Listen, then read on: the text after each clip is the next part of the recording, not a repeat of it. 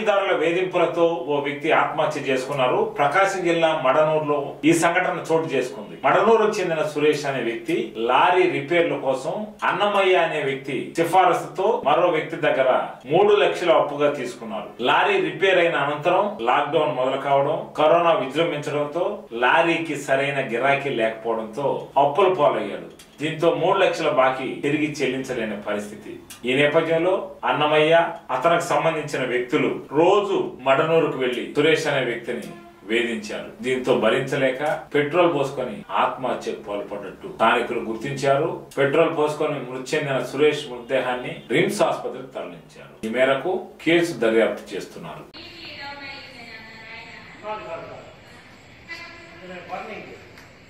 బాకీదారుల వేధింపులతో ఓ వ్యక్తి ఆత్మహత్య చేసుకున్నారు. ప్రకాశం జిల్లా మడనూరులో ఈ సంఘటన చోటు చేసుకుంది. మడనూరుకు చెందిన సురేష్ అనే వ్యక్తి లారీ రిపేర్ల కోసం అన్నమయ్య అనే వ్యక్తి సిఫారసుతో మరో వ్యక్తి దగ్గర మూడు లక్షల అప్పుగా తీసుకున్నారు. లారీ రిపేర్ అయిన అనంతరం లాక్ డౌన్ మొదలు కావడం కరోనా విజృంభించడంతో లారీకి సరైన గిరాకీ లేకపోవడంతో అప్పుల పాలయ్యాడు.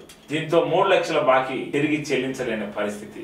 ఈ నేపథ్యంలో అన్నమయ్య అతనికి సంబంధించిన వ్యక్తులు రోజు మడనూరుకు వెళ్ళి సురేష్ అనే వ్యక్తిని వేధించారు. దీంతో భరించలేక పెట్రోల్ పోసుకొని ఆత్మహత్యకు పాల్పడ్డట్టు స్థానికులు గుర్తించారు.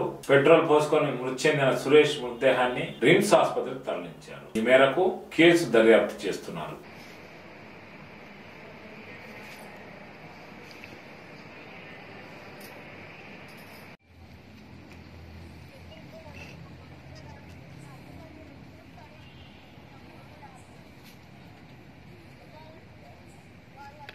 బాకీదారుల వేధింపులతో ఓ వ్యక్తి ఆత్మహత్య చేసుకున్నారు. ప్రకాశం జిల్లా మడనూరులో ఈ సంఘటన చోటు చేసుకుంది. మడనూరుకు చెందిన సురేష్ అనే వ్యక్తి లారీ రిపేర్ల కోసం అన్నమయ్య అనే వ్యక్తి సిఫారసుతో మరో వ్యక్తి దగ్గర మూడు లక్షల అప్పుగా తీసుకున్నారు. లారీ రిపేర్ అయిన అనంతరం లాక్ డౌన్ మొదలు కావడం కరోనా విజృంభించడంతో లారీకి సరైన గిరాకీ లేకపోవడంతో అప్పుల పాలయ్యాడు.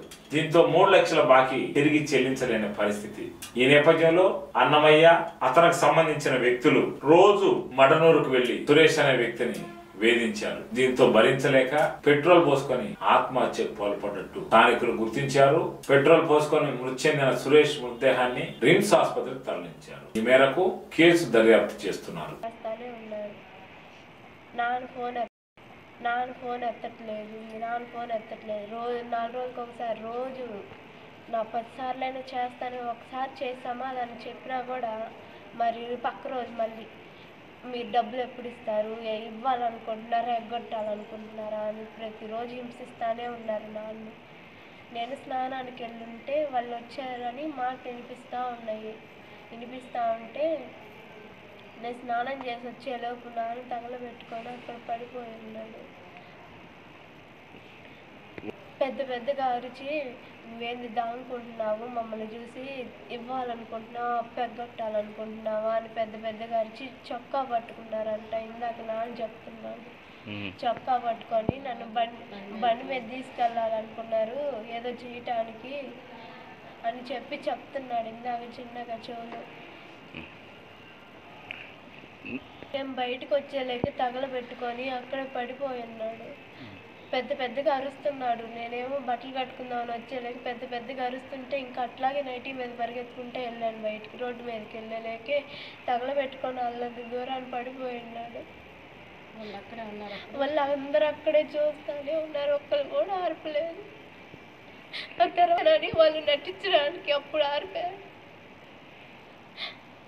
తగులు పడుతున్నప్పుడు అప్పులు వాళ్ళు అక్కడే ఉన్నారు. వాళ్ళందరూ అక్కడే ఉన్నారు. నేను అంత అమాంతంగా పరిగెత్తుకుంటే వెళ్ళాను. అరు అరుపులు అన్నీ వినిపిస్తుంటే పరిగెత్తుకుంటానే వెళ్ళాను. వెళ్ళలేక అందరూ అందరూ చూస్తూనే ఉన్నారు కానీ ఒక్కరు కూడా వంటలు ఆర్పడానికి రాలేదు. అంబులెన్స్ ఎక్కించుదాకా ఆడే అంబులెన్స్ కూడా ఎక్కించలేదు. ఎవరు ఇళ్ళ పక్కన వాళ్ళు ఎవరో ఇద్దరు ముగ్గురు వచ్చి అన్నలు ఎక్కించారు. అసలు వ్యక్తిని కూడా పట్టుకోవడానికి కూడా ఇష్టపడలే వాళ్ళు. వాళ్ళ వల్ల ఇటు చేసుకుంటే వాళ్ళు కూడా పట్టించుకోకపోతే మేమేమైపోవాలి